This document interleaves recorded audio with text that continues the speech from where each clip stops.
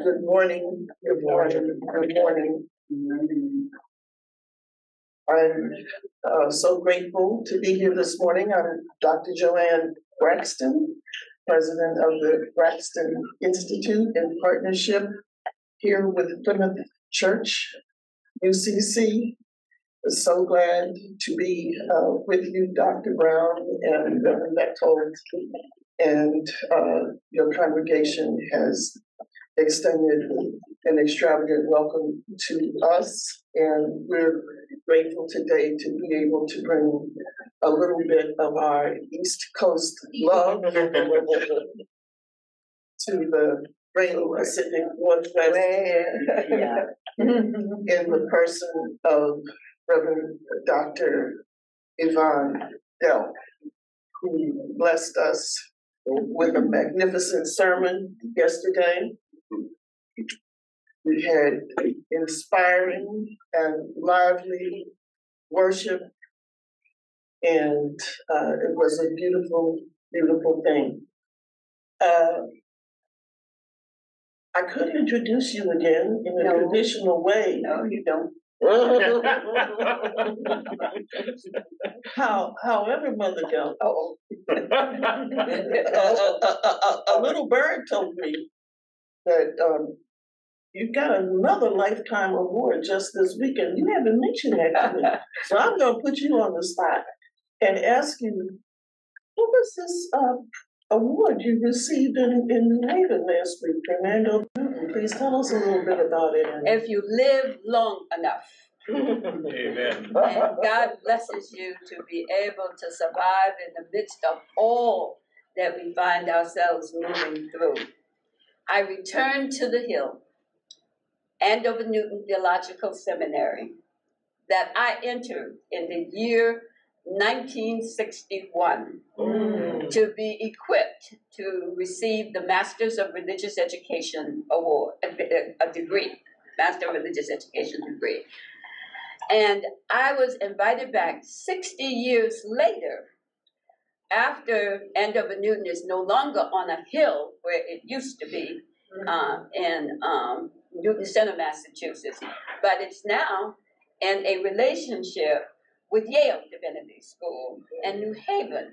And so its home now is alongside of Yale. And, and so I was invited back 60 years later to, in fact, receive the Spirit of the Hill Award. and it is someone who embodies uh, the spirit of Andover Newton as it seeks to equip um, those who are able uh, to be a part of its journey for ministry uh, in the world. And so I was very honored after 60 years uh, to be able to come back to a place which for me was symbolized by the hill. I won't take a long time because this will wrap it all up. But you have to imagine, in 60 years ago, Andover Newton, you had to climb a hill in order to get to all that was essential to the life of that school. But women were at the bottom of the hill.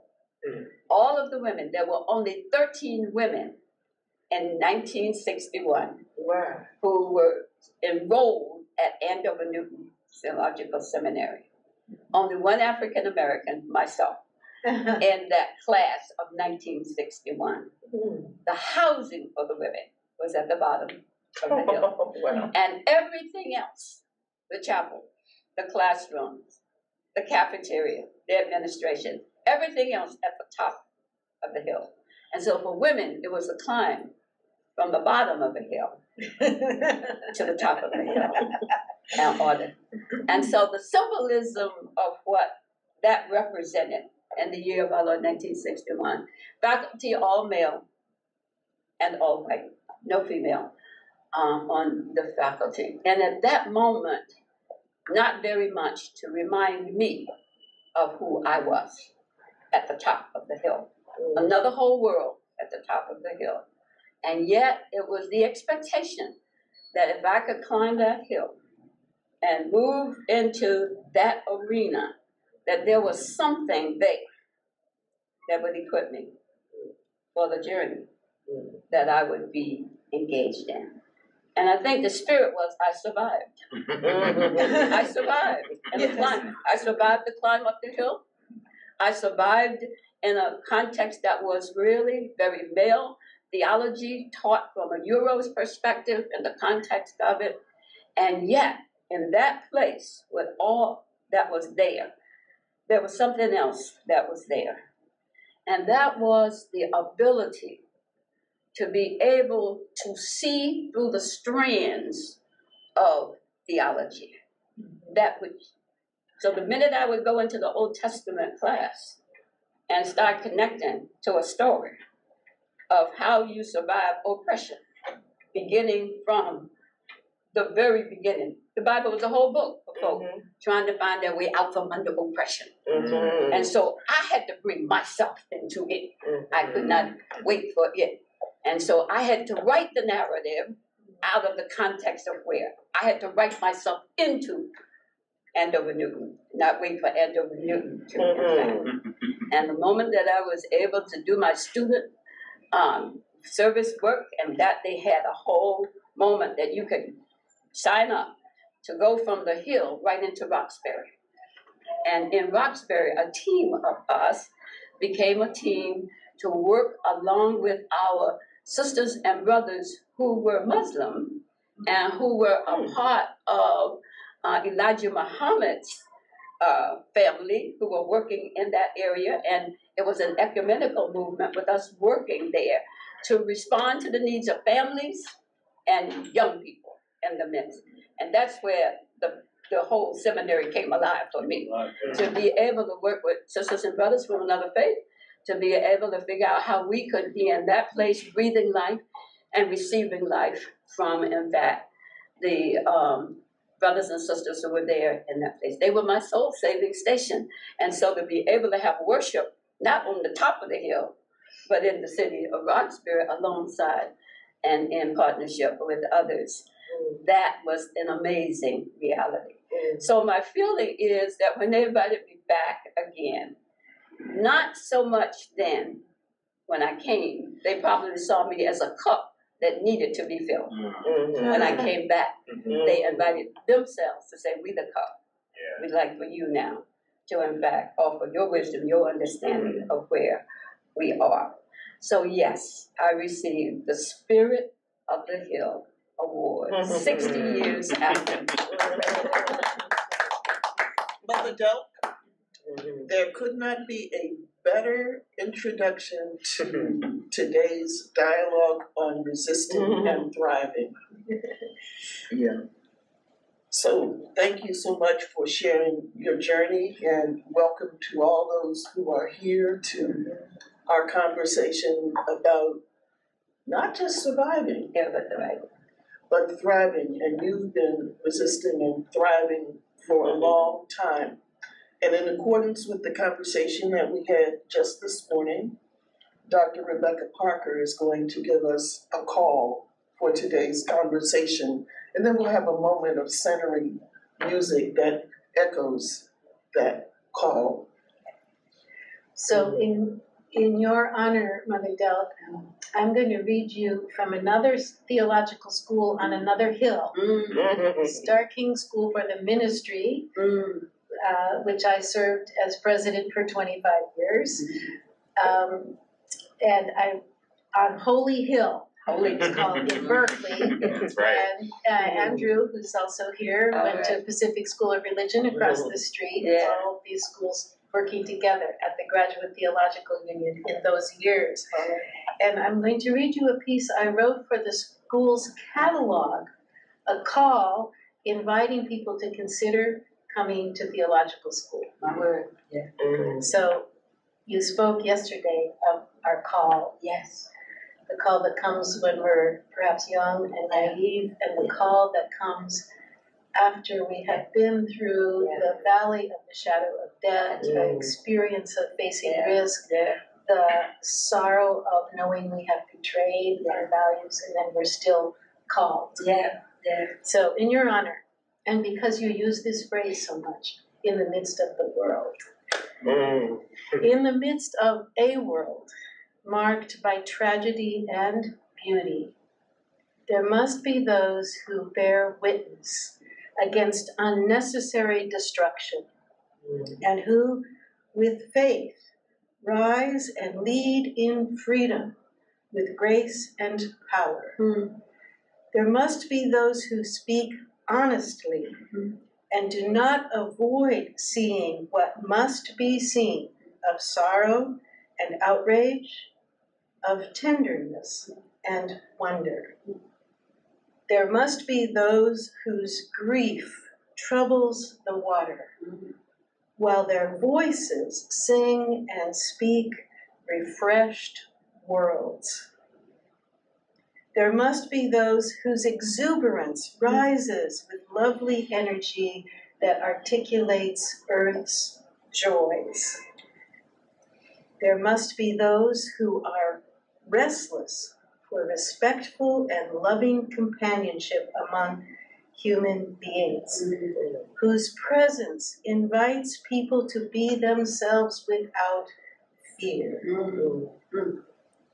There must be those who gather with the congregation of remembrance and compassion, draw water from old wells, and walk the simple path of love for neighbor.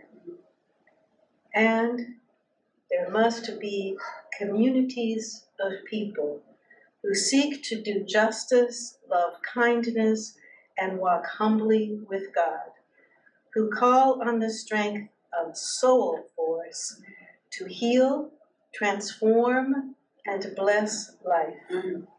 There must be religious witness. Mm-hmm. Mm-hmm. Mm-hmm. Amen. Mm, that's powerful. And we can take a moment now and enjoy the musical composition that accompanies this beautiful poem. Let us open our hearts and prepare for our conversation.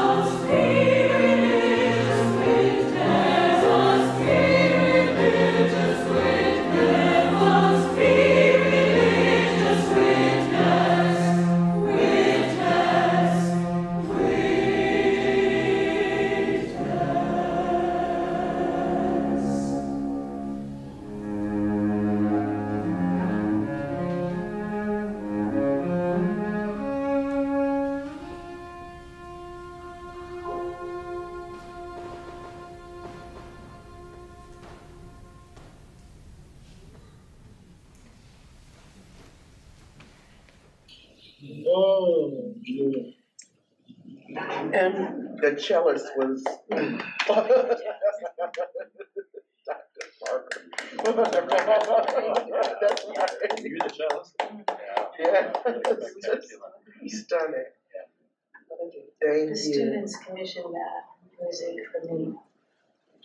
From a Seattle composer, Carol Sams. Mm, Beautiful. Who is the scout?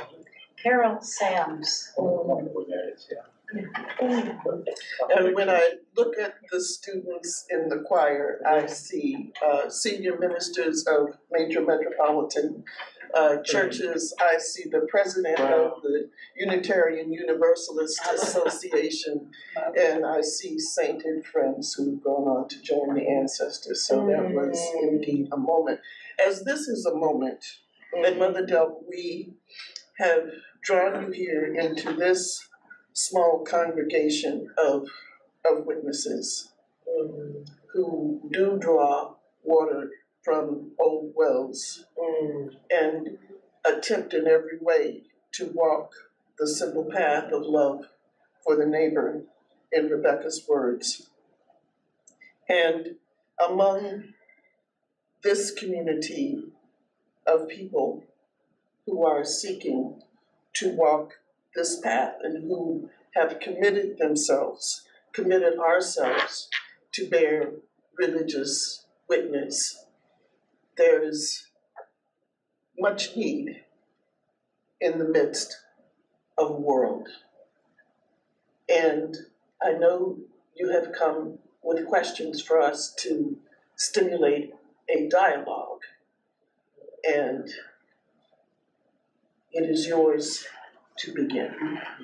And, thank you. And Rebecca, what wonderful, wonderful words to remind us, to remind us of where it is that we are and what we seek to become, where we are and what we seek to become. My fear sometimes is we've lost sight of where we really want to go. Because we're so entangled in the context of where we are with so much that takes us away from the vision of wholeness, so much that takes us away from the understanding of what it means to be the beloved community, so much that causes us to fight to just protect ourselves and arm ourselves from the harm that we feel each and every day that's around us when you feel that the place where you are is really a strange place. It is not home. It is a strange place that you are seeking to really, in fact, find your way uh, into. And so you lose sight sometimes because you're fighting for survive. You can't thrive because you're fighting just to survive. You're fighting for your name. You're fighting for your dignity. You're fighting for your honor. You're fighting for, and so in that context of it, you lose sight of what can really be home. And so to hear those beautiful words and to figure out that in fact there are, there is, there's the possibility of it, and that we have to make it, just like I had to climb the hill sixty years ago, and find in that place elements that could be that could be home. And so I thank you. And I'm grateful for all of the folk who are sitting here. I always believe that whoever is there is who's meant to be there. Mm-hmm. I don't wish for whoever else didn't. I'm grateful for the king. I'm grateful for the ones who are present in our midst. And so I want to pause for a minute and let you name yourself again, call your name again, because a part of old age is that I, in the midst of everything, start forgetting names.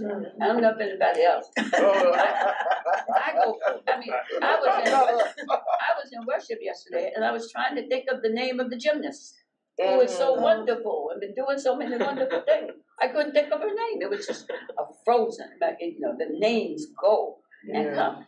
But it is important that every time we gather, we still gather in recognition that we're not just occupying seats, but we come in the fullness of who we are. And it's important for us to name ourselves. So I'd like for you to name yourself before I start into this moment with you. And I'm going to start over there even with the one who is orchestrating and helping us to get all of the filming done and all that we have. Welcome to this community as well. Thank you. Uh, so I'm Reverend Kevin Bechtold, the associate pastor here. Um, and it just so happens that a lot of my responsibilities these days fall to tech, but I'm pleased to be here with you. Uh, my name is Reverend Andrew Conley Holcomb. I'm the pastor of a small neighborhood church, one of three UCC churches in West Seattle, um, called the Admiral Church. Glad to be here. Oh, my name is Doug. I'm glad to be here as well. I'm very- the, uh, thank you. My name is Michael Gordon. Uh, I've been a member seven years, eight years, something like that. Uh, council member.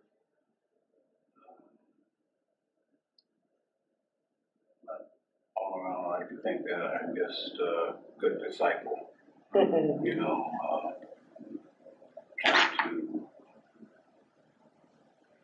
make bridges right here in Plymouth with uh, BIPOC people and the longtime members. So, I'm Kelly Brown, I'm senior pastor here, I'm grateful to be um in ministry with many of the folks in this um room in a variety of ways. So welcome to this place. I'm Jim Halfaker, uh, member of Plymouth Church. Uh, in nineteen sixty-two, I graduated from Yale Divinity School, mm. the place you were talking about. Mm. Louisa, my wife, lived in Porter Hall with forty other, I think, all white women, Wow. and they were below the chapel, so they had to go a little uphill. Oh, wow. But it brought back all kinds of memories. Wow. from that period Hmm. when you shared your recent visit. Your honor was during the annual convocation, I think, at, at Yale and Andover Newton. right? And uh, my seminary education, like yours, was with all white men teaching and Euro-centered. But one of the fieldwork things I had was with Ed Edmonds, the pastor of Dixwell Avenue Church, an Oh. all-black church. Yes. I had an internship there Yes, which was intentional, which changed the direct trajectory of my Mm. race and justice oriented heart. So I Mm. brought back some great history when you shared that. I'm Yeah. so glad you're here. yeah. I'm Reverend Dr. Elizabeth Gordon. Uh, I'm uh, in covenant with Plymouth Church, Mhm. uh, and I am a staff chaplain uh, at Providence Mount St. Vincent in West Seattle, and also a per diem chaplain at the University of Washington Medical Center. I'm very glad to be here. I'm Rebecca Ann Parker Braxton, a baptized, blessed, broken, transformed, healed, and called child of God. I'm, excuse me, here today on behalf of the Braxton Institute as a member of the board and as a friend of the Plymouth UCC congregation. I'm Reverend Joanne Braxton, um, president of the Braxton Institute, child of the Southern Conference, proud graduate of PSR and Yale. I do uh, remember Dixwell I'll bet you Avenue. Church. I lived on Lake Place behind the gym. Okay. Uh, I was not in the, um, I was not in the divinity school. Um, I was in the American Studies program. Mm. However, I did go to some very fine parties at the divinity. Hardly matter. So, um, and shared classroom space with people like, uh, James Washington. Uh, under the direction of Reverend. I'm gonna give John Blassingame, uh, an ordination that he, he hadn't received, but maybe came from a higher power after he, uh, left us and joined the ancestors in, in the classroom of historian John Blassingame. So that was quite a classroom, as you can imagine. And I'm Mother Yvonne Delk. and I am so pleased in the 84th year of my life to be living into and feeling the responsibility of and celebrating the anointing of my role now as elder and mother. As elder and mother. And I've had to go through many steps to get to this point, uh, but now I'm here. And I am grateful to God that I am in this place, uh, settling into um, my role as elder and mother. In Revelations, they said, Who are those folk who are coming? They're, they're all dressed in robes and everything Right. and so forth. Who are those folk? And he said, Those are the folk that have been through something. That's right. They're coming That's through right. great trials and tribulations, Yeah, right? that's But they're coming to this place. And they mm. come to this place out of the trials and tribulation mm. to offer a word about what it means uh, mm. for us to be, to be. And so I'm one of the elders who've been through many trials and tribulations, and but I've come through a wonderful journey that the United Church of Christ is just beginning to understand. We've been there all along. I mean, I've been a part of the Macedonia Afro Christian Church since my mother walked in pregnant with me in 1939. And that church was connected to the Christian part of our denomination. And so, in that sense, I've been a part of this connecting stream called the United Church of Christ for my entire life. I came mm. right up out of it. Although my mother was Baptist and my father was First United Holiness, mm-hmm. by the time I came into existence, for a number of reasons, they decided on Macedonia Afro Christian Church. It was where both of those traditions mm. flowed into one place and the family could grow and be together in one church mm. there. And that was Macedonia Afro Christian Church. And Macedonia Afro Christian Church was a part of the Eastern Virginia Association. And the Eastern Virginia Association was a part of the Southern Conference now, but it was before that a part of the Afro Christian Convention. It was the mm. Afro Christian Convention that, in fact, was the mother lode to Macedonia, and therefore became my experience shaping me into who I was called to be and flowing through me into the United Church of Christ. And even though I was there representing, in many ways, a stream of consciousness and understanding that had been there forever. Many of those who were in leadership capacities could not see it. They saw me as an individual, dismembered, Yeah. dismembered from a stream Uh-huh. that had flowed in the midst of it.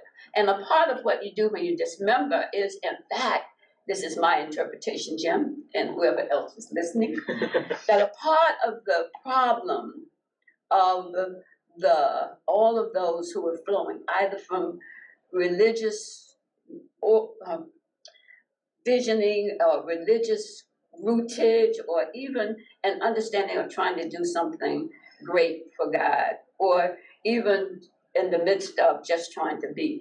They all had lost sight of what a beloved community at all should look like. They mm-hmm. never fully understood beloved community. And they didn't understand under beloved community because most times we shape community in our own image. We shape God in our own image.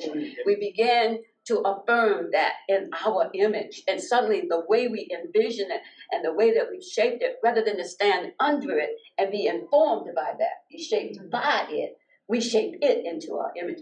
And then the image becomes the way in which we flow into the world. And even with that wonderful moment in 1957 when four predominantly white streams came together to unite on behalf of the brokenness that existed in the world and to proclaim the gospel to the world.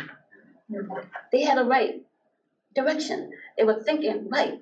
However, they still saw it as moving from where they were Mm. and the understandings that they had brought into play at that time of what the beloved community ought to look like. It would be welcoming others into their understanding Right, of what right, community. yeah. And so, in that sense, they were out to save the lost Mhm.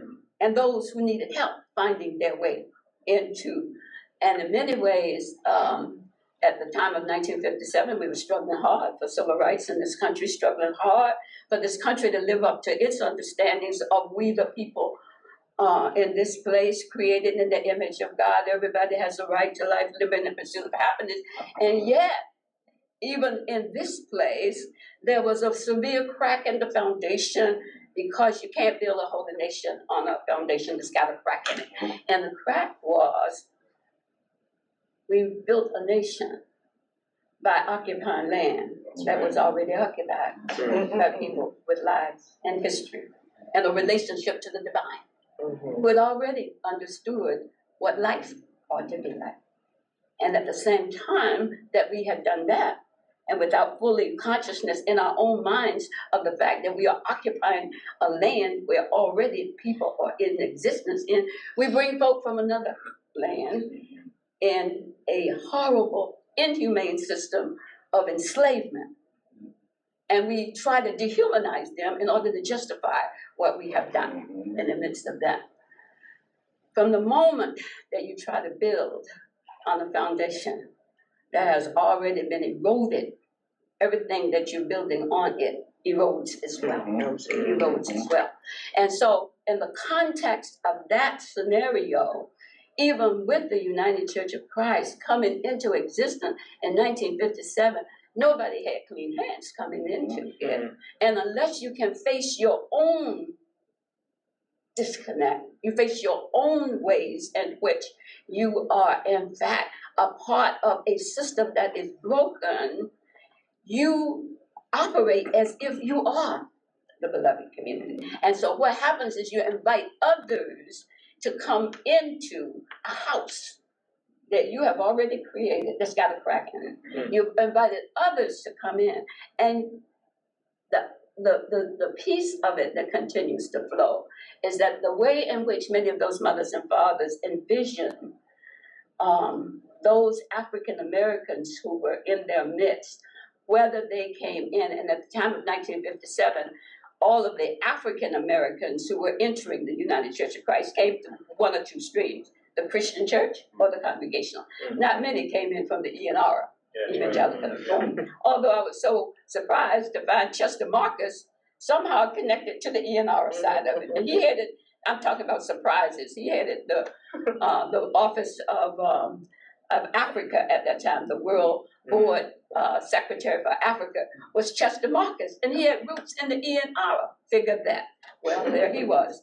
But the majority of African Americans coming into the United Church of Christ came either through the congregational stream or the Christian stream. Those were the two ways that we entered this um, this merger.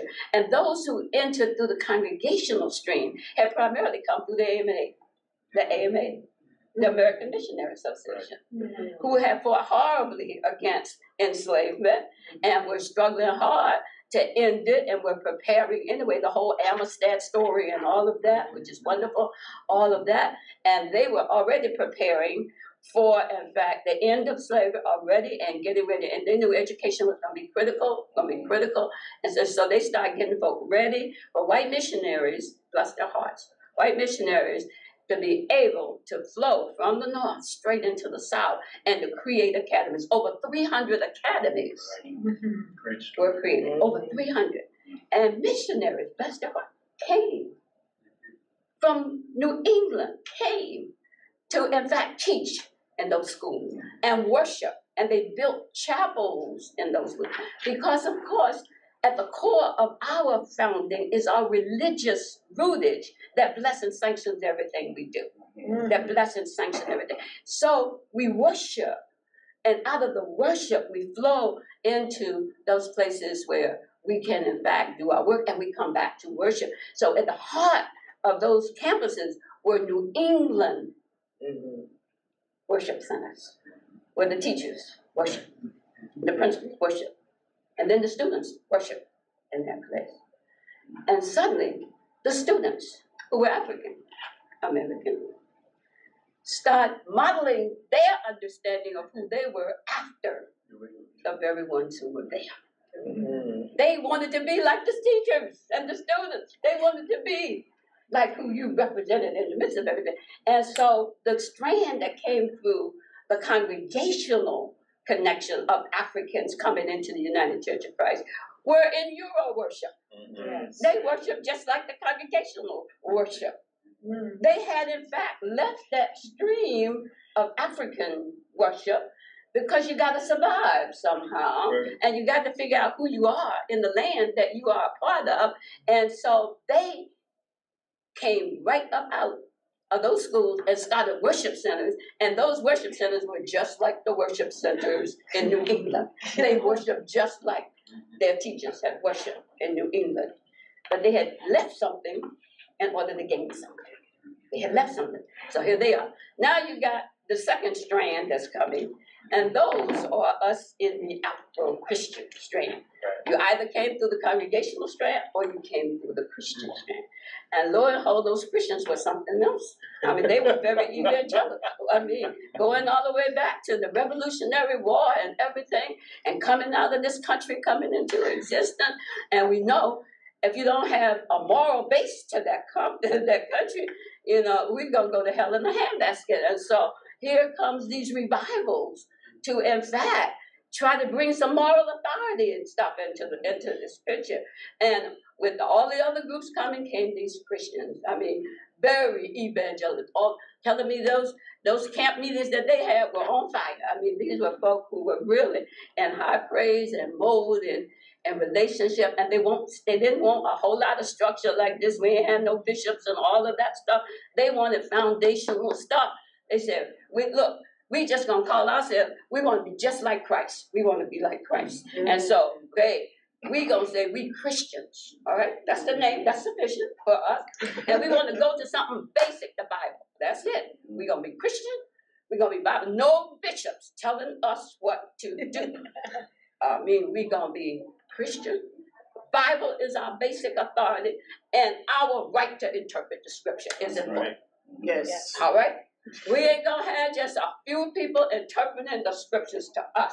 We really do want to have the priesthood of all believers so that you have as much right of reading the scriptures and interpreting what it is saying to you. And together we will gather about our interpretation of scripture. So ain't no one person got us a corner on this market, priesthood of all. And then the other thing to say, your character is what, in fact, makes you an acceptable member. How you walk your walk, the way you walk your walk, your character is there. And then at the end, they believed in unity. Somehow, unity. They're not bad principles. They're not bad principles. If you can adhere to those principles in an environment where, in fact, you're not called into question by another reality that might run straight through all of those affirmations that you make. If you're on a cracked foundation at some point, unless you can anchor those into a foundation that can hold it, and the only way you can do that is you got to understand how the crack is there, and that there's something that is pushing you against what you really intend and want to do. Well, those of us who are African Americans who came through the Christian side of the America, our entry level in the South, which is where the Afro Christian Convention, because really the Christian uh, denomination as it unfolded, it was moving all over the place. And it was in many different places. It was up in the north, it was in the south, it was in many different places. And they were in dialogue and discussion about the crack. They knew that, in fact, that issue that they were going to have to deal with somehow or other was the issue of enslavement. And that was the piece. And they all knew it. And they had these many discussions about it, the founding mothers and fathers of the Christian faith. But what you see is where you are located. Mm-hmm. And what your allegiance is, is dependent on where you locate. So for those who were up north, there was a discussion academic. But for those who were in the south, where they had already embedded themselves in a system that required that you build your house on a system that causes for the dehumanization of other folk. then we're gonna have to deal with that. And in trying to deal with that issue, we enter. Sixteen nineteen, we enter, we enter, we enter. And as we enter from sixteen nineteen, moving into a corrupt system already, looking for some hope in the midst of all of this stuff. Revivals that come through, even when you're in enslavement, revivals of life that come through, folk coming through with energy, some people coming through with a celebration of Christ and celebration of God and what it means to have moral authority. And all of these churches who were Christian churches in the South who had enslavement, meaning they were owning mm-hmm. men and women, mm-hmm. If you can ever own a woman. Here they are trying to celebrate their allegiance to this faith they've got while they're corrupted by the way in which they are dehumanizing. And so here are African, the first African, um, first church in the Afro Christian church, and the Afro Christian part of this merger that's coming, uh, the convention, it came um, in like 1850 something. And at that point, they were also, because blacks uh, who were freed connected to the Christian movement, not because not all were enslaved. We had some free Africans who and uh, who were here, and so the freed ones they liked this Christian stream that was flowing through. Hey, Christ is the head of the church. You got a right for interpretation. All of that. There's freedom in that. Some freedom, and there's spirit in that. That was, and so even in the early, like 1830s, 1850s, there were churches uh, that were African American churches that were composed of blacks and whites, free, coming together in one place uh, to witness uh, to the gospel. And so the first one we can talk about is in um, Providence United Church of Christ that came into existence in 1830s, 1840s during that time. But for most of those who were caught in the web of enslavement, their experience to the Christian church came through the masters and those that the masters would allow into the plantation to, in fact, bring the word. And when they were organized in some fashion, of course, there were the balconies that we know about. And so, because you don't allow those that you have dehumanized to sit with you and worship, ain't no way we doing that because they're not human, they're not quite like we are. And so they put them in the balcony, so they're up in the balcony.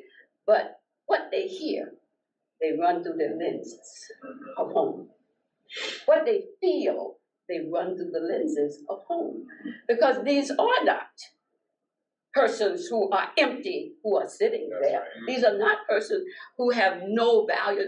These are mothers and fathers who have a connection to a home base. Mm. The place where they were taken from their home base. Mm. So they're not sitting there in enslavement. They're sitting there in the authority of home, mm-hmm. the place that had given birth to them, the ways in which they live and feel and have their being. And so, what they heard coming from a Christian evangelist who's on a plantation preaching the gospel and the good news to white mothers and fathers who are taking in all of this wonderful spirit and affirmation, what they heard was something different. That's right. They were preaching the same thing, whites over here, the masters over here, but what they heard, they ran through their lens of the homeland. Mm-hmm. It connected to the homeland. Freedom connected. Spirit connected to the homeland, indicating that in that place where they were, they were already worshiping, but not the way they thought the folk who were there. Because the masters hoped that the religion would make them more obedient. Right. Because they were preaching, mm-hmm. hey, slaves, obey your masters. Be obedient. Mm-hmm. Acquiesce to this new situation that you find yourself. Accept it. Be a part of it. But that's not what they heard. It ran through that into a taproot that they had. Mm-hmm. There was a taproot from motherland Africa. And they heard it through their lens. Then their lens was God is still in this place. That's right. And there's gonna be a way. In the midst of all of this, that we're gonna move out of this place into freedom. So while the masters might wanted them to be obedient to an environment that was dehumanizing, what they heard was there's another home. And that home is gonna be ready for you to be all that you envision that you can be. Another taproot said freedom is on the horizon. There's a place that's not just like this. What they heard was some, and it was a taproot that they were still connected to. And immediately after the emancipation was all over, they themselves didn't wait for missionaries to come from the north to create life for them. They moved directly up out of that enslavement period and began to create churches. And the Afro Christian Convention was growing by leaps and bounds with persons coming out of enslavement, but with a vision of another way of living and being that had a connection to home. They founded them, founded churches. Churches were growing forever because that was the place that could remember mm-hmm. out of a system that dismembers. Yes. yes. That was the place that could anchor and root you and connect you to something. Life did not begin with them in enslavement, it began with them on the motherland of Africa, mm-hmm. where all of life was affirmed as sacred. They had another meeting place with the divine, and it wasn't in the slave. They didn't meet God instantly. It It was their beliefs that took them through slavery mm. and enabled them to come back out of it into another place and space by which they could be. Afro Christian Convention coming on up out of. And the churches that they created, they had to survive. They were all places because America was still a strange and alien land. Mm-hmm. And no matter how we moved out of enslavement, America was keeping enslavement in place. Mm-hmm. Jim Crow laws, lynching, mm-hmm. separate but equal. America refused to acknowledge the crack, but built up and doubled down on the crack. Mm-hmm. Mm-hmm. Well, you got to have some places that is home.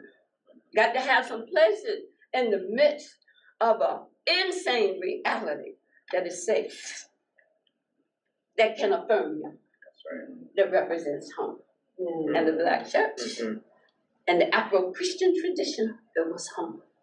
It was the place that said, in this place, remember who you are. Mm-hmm. You're connected to the God who declares all life is sacred. Remember, remember. And so the way we worship, we still were seen as part of the Christian denomination. Pulled up out of it, moved about with no more, you know, separation of the races. Anyway, the whole I grew up in my whole life in Master in Norfolk, Virginia, and separation of the races. You separate. We were not allowed. So now how can we be Christians?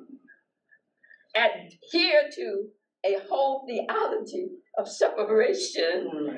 and be used to bless and anoint it if you wait uh, to say it's all right to still do it, it is unbelievable. However, in those places, those were places of life and freedom and hope. Those were places to help remember. So when we walked up into those places, mamas and daddies, children and all, there was a memory there of who they were. And we reminded ourselves over and over again in this place.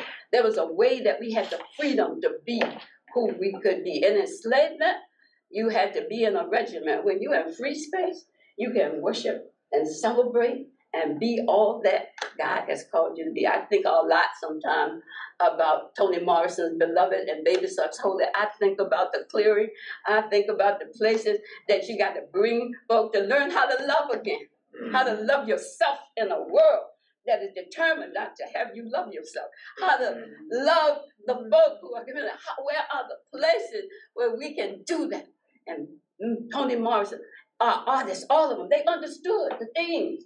We got to learn how to love. We got to root back into a foundation that has meaning and hope. And the black church for us was that place, the clearing, that place where we could gather, that reaffirmed who we were, that reminded us Sunday after Sunday, no matter what laws they passed to dehumanize you in this place.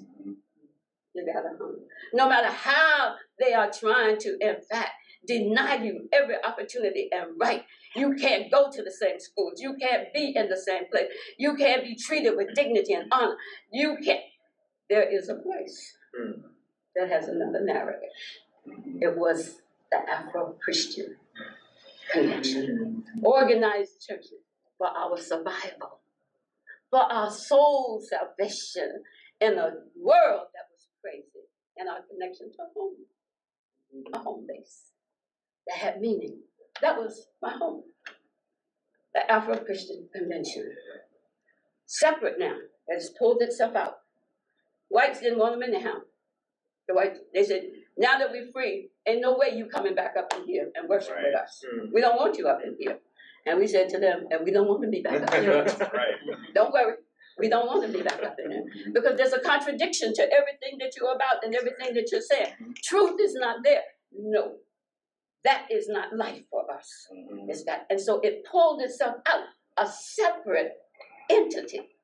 And the height over in the Afro Christian Convention that covered only North Carolina and Virginia, pulled itself out from the white Christians in that geographic area, pulled themselves out and set up a separate denomination, if you will.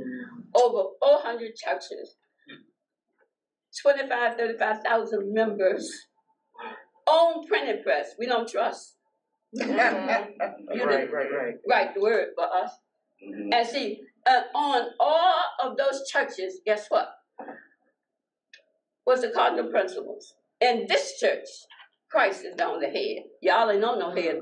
All y'all who tried to keep us in enslavement, you not having any say so in here. Christ is the only head of this church here. And the Bible, I don't care what y'all saying, we going to the Bible, but taking our lens Mm.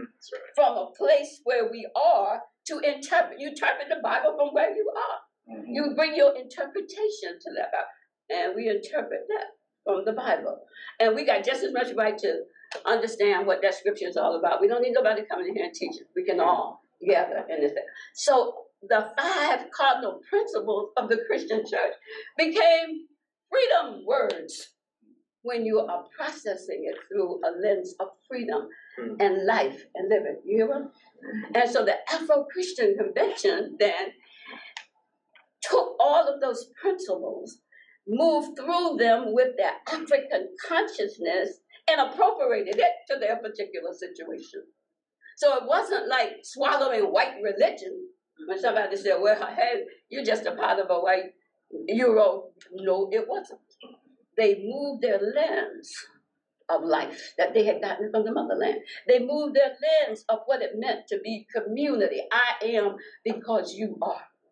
An understanding of life and connectedness that had been rooted in the motherland, but moved through the principles and then affirmed in a way that we could move forward in the midst of still a crazy and insane thing. So the cardinal principles were always on, on at Macedonia that I grew up in, there were the cardinal principles. And every time there was a racist accident or racist reality that we were escaping ourselves from, and we moved up in there, we interpret those as freedom words, freedom instructions, that which allows you to be free in a society that's determined that you will not have. I got just as much right to interpret, and I got a right to be here. And the church became the anointing and the sanctioning of our humanity. It became the affirmation because you got to have it wash over you over and over. Because every time you step out of the door, you're back into insanity mm, again. Mm, mm. And there's got to be something that allows you to be whole. That's In mm-hmm. the sense, are you free and you made whole? Where can you be free and made whole when you're dealing with an insane reality that you got to deal with day for day for day? And they have doubled down on a definition of who you are that says you ain't worth it. Mm. You are not worth it. And the white church had doubled down in it because it did not accept its complicity in it. So that here is the Afro Christian Convention,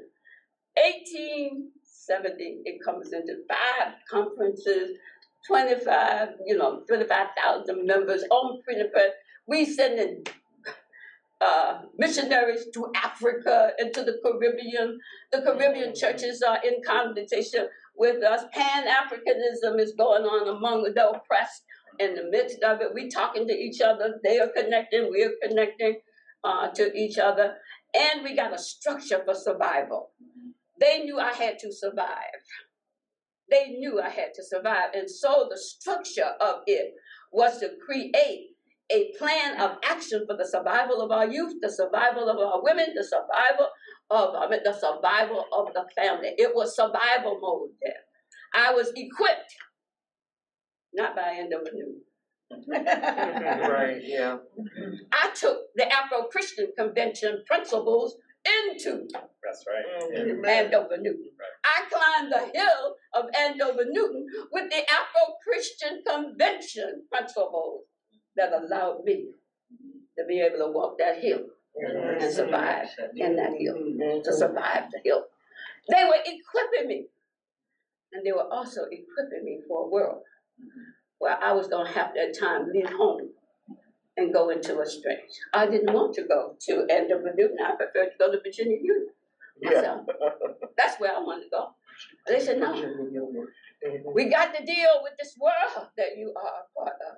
You're in a place now where, and it was people like a Purcell Austin, whose father was an Afro Christian minister, where he was an Afro Christian minister, to say there's another world we still got to deal with. Mm-hmm. And you're going to have to leave home at some time, mm. which home has got to be in you.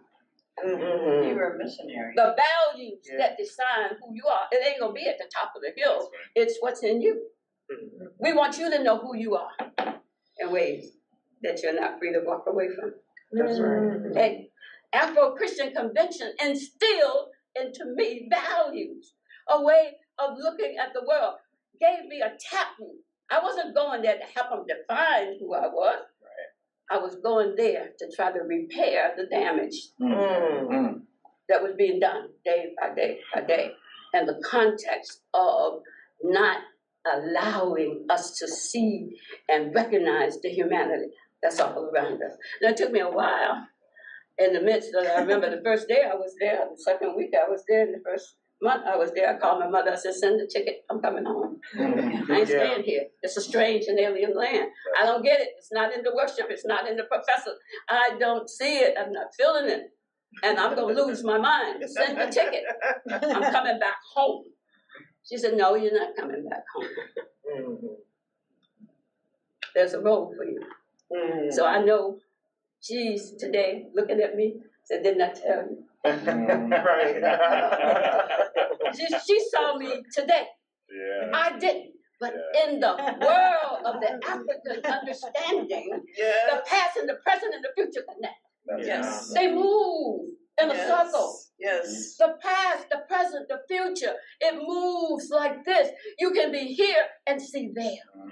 You can connect to it. It's a connected consciousness with those who have gone before, with those who are coming after, with those who are in the present now. It's another way of seeing and believing. Mm. Afro Christian roots and connection. There was another assignment for me. My assignment would not be Virginia Union. Another assignment for me. I was going to be placed in the home of the United Church of Christ. Another assignment for me. I would be an elder, but an elder also in the United Church of Christ. From the moment my mother carried me in her womb and to Macedonia Afro Christian, I had an assignment for a world and a church that would be a hard one and a one that would require that we find a way in the midst of the journey to breathe. I always had home. I could always come back home and touch the base. I could always be, and then at times the home came to me, and we had hallelujah time wherever I was. And we go back in the midst of the thing. But the Afro Christian Convention, for all of that, was there in the life, Jim, of the United Church of Christ. Hmm. And they didn't see it. They saw an individual but they didn't see the community that gave hmm. birth to the individual. They saw when that union came into being, there are people who need our help. They are objects of our mission. We're going to bring the good news to them hmm. as if they were empty cups with no sense of being a reality, needing help. They didn't see them as subjects that could bring life to them. They felt they had the word to bring. And it blinded them from recognizing that sitting in their midst all of this time were already life-giving source that could inform the uniting and mm. united. The gospel was already in mm, place right. that could inform, but they couldn't see it. And a part of, I think, the struggle with the American Missionary Association is while they fought against slavery, they never felt that those that they were ministering to were equal to them. Yeah, right. They never saw them as equal to them. They, in fact, were impositing into them mm-hmm. their lifeline. They couldn't see that they were. so, we go through a long journey to a day in which, as I enter, because it was my assignment to go home, to go send you out, says time now uh, to have, put your wings on, you got to go. And you got to sojourn out there in the midst of it. There's a time that you come home. I'm coming home now. This is home time. But at that moment, it was moving in the midst of those moments with an assignment. And they kept saying, but lest you be careful, you might forget home. You might forget your home. You might forget. So don't sojourn so far that you forget you got a home base. So they would pray over me. You see what I'm saying? Mm-hmm. They did anointing because the powers and principalities of injustice are great. You can you might want to really start casting your lot with them, and, and mm. you see what I'm saying? And so it's in the context of having that taproot that was there, constantly praying for me, and their prayers could reach me no matter where I was. You hear what I'm saying? Mm-hmm. You don't have to be. The prayers are going. They said the prayer warriors have called your name, mm-hmm. and they have a hallelujah time, because they knew I needed to feel the spirit. And that's an understanding of spirit that comes out of the Afro Christian tradition. That spirit can move anywhere and everywhere. It connects to you wherever you are. It's a way of thinking about life, it's a way of ordering your life around basic principles that were there. And for me, the taproot was with the Afro Christian Convention. The taproot was with the mothers and fathers who had a taproot that was rooted in Africa. All life is sacred. We believe in the community in terms of I am because you are. We believe that the Spirit moves through everything, is in and around everything. And we believe that God has allowed us to be free to witness. And we also know that there are others, not just us, oh, right. Who belong to the community, not just us.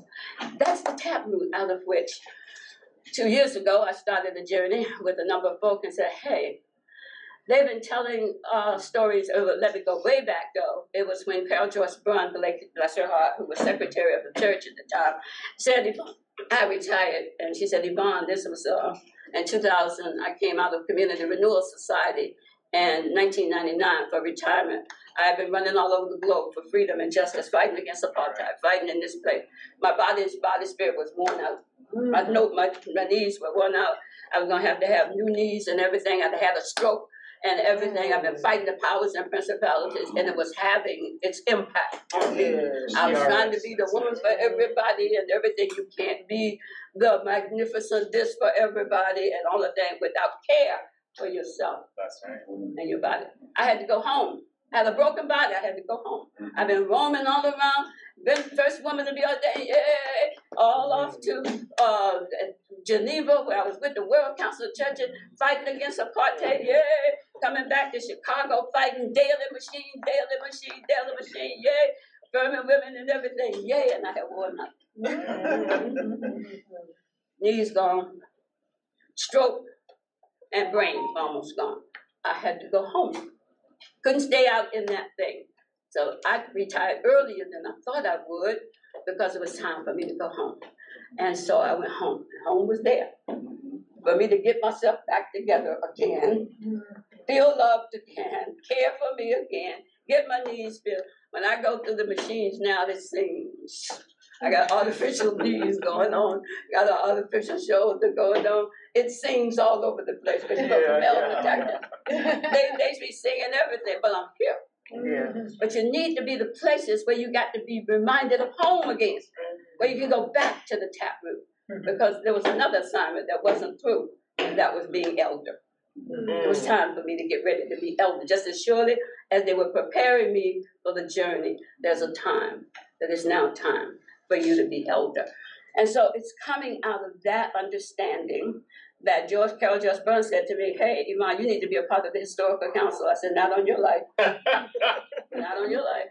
I know who those folk are. They're sitting up there trying to preserve a history and talking about a narrative that is really alien to where I am. I'm not going up there to the historical council. I'm an activist, I said. All my work has been with justice and freedom and wholeness. I was head of the Office for Church and Society. I've been moving all around. Put me to work at justice mode. Do mm-hmm. not be asking me to come up here and sit with folks who trying to remember a history mm-hmm. that in fact is giving no life to the present. I'm not mm. coming. Wow. Mm. But Carol Joyce said, mm-hmm. Yvonne, you need to be Mm-hmm. with all that you are and all you just said. Mm-hmm. Your role. Your. Mm-hmm. Role. I said, say what? She said, yeah. She said, yeah. When the word of truth is spoken, that connects to all your experiences, that say to you, again, you got a call. It flows through everything, moves back into your mind. My body has now been restored. My mind is good. I'm ready now for this new assignment, and I'm now an elder. Hmm. So I can't think like when I was running around hmm. being. Assignments do change. Yeah. Hmm. Assignments do change. Mhm. You got to get ready for your next assignment. So I had to start thinking about what it meant for me to be an elder. And the place I put myself as an elder was different, mm-hmm. but I still got the tap root. Mhm. Yep, yep. I still got the tap root. And I had to be in that place as an elder because at that moment, this church had to be remembered. Hey, I stood for president of this church in 1989. I put my name up against Paul Sherry. I ain't have a prayer in it, mm. but I was standing there Wow. as a candidate, and I had a whole team of folk running around trying to get me elected. Yvonne Delk Button for president, I still got my president for Button. I'm standing there. Oh. I'm standing there in the midst of it. I got to go to every conference and make my case for why I should lead this denomination in 1989. Ain't had a prayer. Moved all around, but I still got a significant number of votes. Yep, yep. Mm-hmm. And I got folk who write to me today and say, I was so proud to work with you mm-hmm. to stand on the floor of the 1989 General Synod for president, mm-hmm. Afro Christian Convention, Mhm. all of that. President Yvonne Delk. Bless his heart. you know what? Um, Paul Sherry said to me when I went to his room that night to say, I'm going to put my name in. Because they had looked at me and said, No, we don't want you to be president. We want you to be cho- chosen. Because that's how it worked. They looked at me. And but at that time, there was a loophole that you could be still nominated from the floor of General Assembly. After I stood, they closed the loophole. I know about They that. said that they didn't understand it. They said we're closing this loophole. But at any rate, at that time there was the loophole that you could be nominated from the floor. Um, and then she said, "You see what we got? When we said you could be nominated from the floor, something that's coming up out of our no, thinking that they still a yes." We have already said no to them, and they think they still got yes in them. No. So, at, in the in the context of that, Paul said this to me, Yvonne. Rather than to receive me with what in the world do you think you're doing? He said, Do you think we could go to the Synod and say we both want to share the position? I love Paul Sherry. bless his heart. He started thinking. He said, the church needs you just like it needs me. Maybe we could go. I said, Paul, it ain't a prayer that we could go before this Synod Yeah. and said the two of us have decided that we're going to be co-leaders of this denomination. Mm. This will throw the whole thing into chaos, mm. really. But I love you for thinking about it. Mm-hmm. Yeah. Right, He said, I need you. You hear what I'm mm. saying? yes. I know who you are. I know what's in you. I see that. This church need. I need. it. He offered. You see, amazing. Well, of course, we didn't do that. We went on. I was not selected. Paul Sherry was and became president uh, of the church. But it was much later that end of this week, I'll be going to Cleveland Yes. and I'll be in prayer. The or installation prayer of one here in Georgia Thompson. That's, That's right. right. In due time, Oh, That's good. right. Yes. Oh, good. in due season, Mm-hmm. Good. That's right. That moment is connected to another moment. We have a connected consciousness. You That's see, right. it moves Mhm. like this, and if you understood. So when Carl Jones asked me to step in, there was a call that I had to receive as an elder now. You got a story to protect. You got a history to protect. You got a name to protect. It is now your time to move into the channels of history and rewrite it. That's right. Re R I G H T, write it, Right. and That's re right. W That's I right. R I T. Carl Braun understood that. How in the world is that possible? Because the way that the spirit moves, it still moves through in different places. Mm-hmm. She understood it. I said to her, okay, I go into the historical council and I start talking about the Afro Christian Convention, and it flows like water going over and around. But what, are you- where is it? What's the written word? Documented, prove it. You know, all the, I mean, where is this thing? You know, it's a story. Well, yeah, but it's scattered. It's got places. This, well, what? Time out. All right, Robert Brown Zikmund goes to hidden history. She said, it ain't been absent all this time. I wrote about it. Historian, Robert Brown Zikmund. That's Over the right. book, Hidden Histories of the Mhm. United That's Church right. of Christ. It's in there, right? Went to it, Purcell Austin article, Afro-Christian Connection. All right. Yeah. It becomes the mandate, we duplicate all of that. Thank you, Barbara Brown Zikmund, she's sitting at the table. Who else is at the table? Richard Taylor, historian from the Christian, I mean, who is documenting the whole Christian connection to these United Church of Christ. Richard Taylor. He said, Yvonne, I got a lot of information you need to say. I've been keeping the record on the Afro-Christian Convention. Well, hallelujah. hallelujah. If a way is made for you, the table will be set before you. Mm. But you gotta step. You hear what I'm saying? You gotta step and rearrange. Robert Brown Zikmund versus Hart, they went to all the archives and all, because we are intellectual, we got to, in fact, see it in the written word mm-hmm. that this was really happening. Mm-hmm. Although I'm saying I'm here, and we got all these churches that are here, this ought to be enough. But in any way, we had to put it together in a written way. And as we did, I said to them, I said, well, historical council, you can't stay here. You can't feel the Afro-Christian Convention in Cleveland. You gotta go to my home in Whitaker, North Carolina, to the home where the mothers and fathers of the Afro-Christian Convention, coming right out of enslavement. Uh-huh. After they built the churches, the first thing they did, we need a school. First, they had it in the churches. Come on, we got to get ready to survive That's right. Mm-hmm. intellectual. And they started, and they said, we raising money for a school, we're gonna build this school, Franklinton, gonna build this school. They pulled, they taxed every member ten cents a member, going for the school, mm-hmm. going for the school. Everybody put their monies in, still didn't have enough. They said, well, we're gonna send it out to the whole Christian church now. We need some help with this. Let's send it out to all of them, white and black, anybody said, we tried. So as the AMA developed their school, the Afro-Christian Convention also developing. Mm. In Whit- in Bricks, North Carolina, there was a school that the AMA. In Franklinton, North Carolina, there is a school from the Christian, Afro-Christian mm. movement. There was a college. Everybody came because we needed children, everybody. Then it was a college to change our ministers in. Then it was a college to help us to get ourselves. into- the college rose along with the churches. Mm. That school, the Afro Christian College in Franklinton, North Carolina, in the fifties was closed. Well, it really was closed in the late thirties. But eventually it joined with the school that was in Bricks, that the AMA. So you had two streams, AMA and then the Christian coming together in 1950 to create Franklinton Center at Bricks.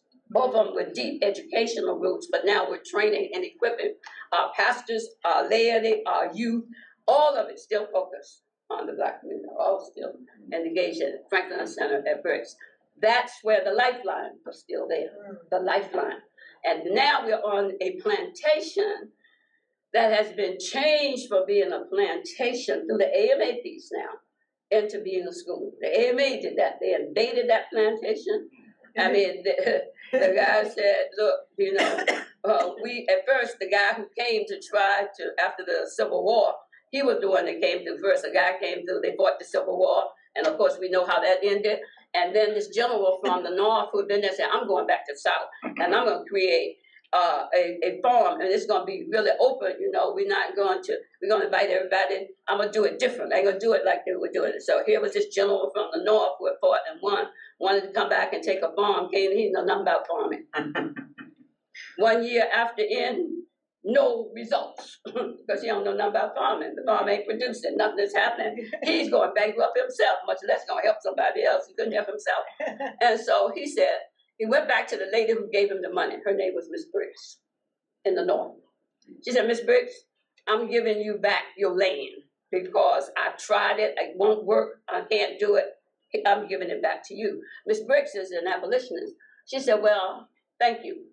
And I'm going to give this land to someone who can resurrect a school. It ain't intended to be farming anymore. I want a school there. She knew about the AMA. She picked up a phone, and called some folk that were connected to the AMA and said, I got a piece of land I'm going to give you if you're willing to take it. And they did. And they, of course, developed an academy there that was mm-hmm. also a school. We got the one in Franklinton, Afro Christian, AMA got the one given to them by Miss Brick and we are both parallel in the same state, one in Bricks, we in Franklinton, and moving along this, and then in fifties. Now they're getting ready for the United Church of Christ. As though I will now begin to wrap up. I will now begin to wrap up. I will now begin to wrap up. My basic piece is to say this that the book that we've written about is a book that is connected to that history. The overarching themes of it, I believe, are themes that are relevant for what it means for us to be on the task for being a beloved community today. And it is my feeling because we were able to bring the whole historical council to Franklinton Center, they were able to reconnect at a different level, and which enabled them uh, last year to say, hey, there has always been a fifth stream flowing in on that. And it was the historical council that in fact affirmed it. Bless uh, uh, the president's heart. Uh, he, in fact, at our last General Synod, made an apology in relationship. And we have the book now that we have, thanks to Traci Blackmon, that is moving in and around uh, for it. And in it, are the truths that I've been talking about, a mm-hmm. way of living that I've been talking about, that I think has important affirmations for us because this is still a strange and alien land that we're living in. Mm-hmm. And if anything is happening, we're regressing. We're not moving forward. That's right. We're, we're bowing before the worst instincts rather than the best. And yet, there are those who are still fighting for the vision that was created. Next year will be the 250th anniversary of the independence, United States independence. And there are groups, freedom groups, black and white, all over the place, that are trying to bring us back to the vision that we we have. That's going to mean reparation. All of this stuff is all in it. But there are still those who believe in that vision. We are one. That we will be flowing uh, in that midst with what it means to be the beloved community. And remember, the beloved community is composed of two things love and justice. That's right. That's what love and justice. That's what Micah said too. Mm-hmm. Love and justice. Love part of it is what we got to work on. Because people who don't love themselves can't accept love.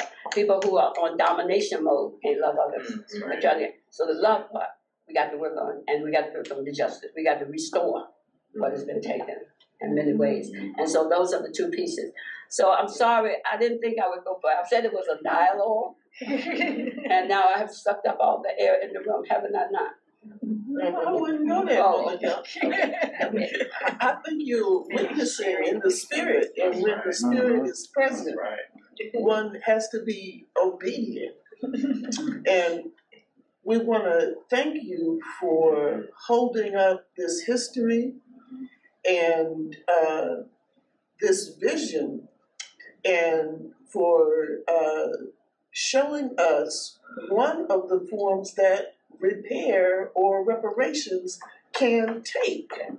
Uh, we haven't even talked about how the United Church of Christ and Linda Jaramillo worked with the Franklinton Center to So make a repair. so many. And you have repaired the historical narrative.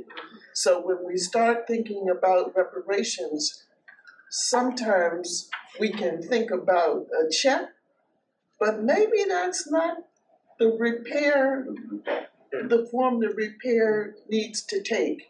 And indeed, conversations can be repaired. Mm-hmm. So we will continue to dialogue with you. And now we have some good things to eat, and perhaps the conversation can continue. in Well, a I, I small need way. some feedback, so I'm hoping that even as we uh, get our food, we can come back and do more than one thing at the same time. And I just need to hear, based on having sat here in this circle as an elder here and sharing all of that that I have shared, I just need to hear from you. So what? How does that connect at all to what's happening here? How does that connect at all to what we're trying to do here? I know very much from my home heart, heart that a part of my job is to be standing with the sons and daughters that we have kicked out in the Afro Christian tradition as well. Sometimes when you stray from your roots, you lose your sense of grounding. And now our sons and daughters who are lesbian and gay and bisexual and trans, because they don't look exactly like what we think we ought to, and because we have doubled down in some, they have had to leave home. Yeah. Mm-hmm.